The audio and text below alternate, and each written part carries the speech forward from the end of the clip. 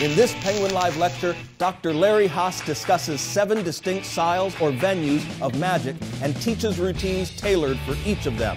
He uses his background in philosophy and theater to show you how to mix astonishing, artistic magic with inspirational ideas that lift the spirit. He begins with his own work on a popular modern interactive card trick, and his changes add to the overall randomness to heighten the ultimate impact. Right now, everyone retrieve that special piece. And then look at your two pieces. And then hold them up and show them to everybody. They match. And that is magic.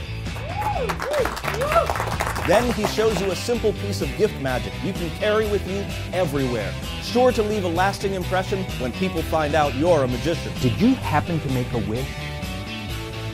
I did too. And my wish just came true. Plus, he demonstrates how to use a simple presentational ploy to make a quick coin trick play quite a bit bigger than usual. Solid. Wow. Through solid. He also teaches you his work on a few neat card tricks, including his surefire method for an impossible card location that's likely to fool you.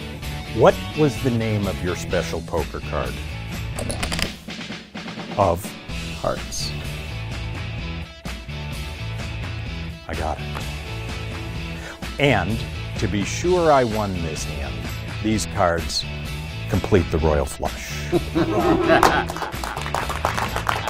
And Larry performs and explains one of his signature pieces with a charming story of transformation manifested physically with two large cards. Of course, stick around as he shares stories of his own transformation from philosophy professor to full time performer and his fascination with the art of magic. Hello, my name is Lawrence Hass. Join me at Penguin Live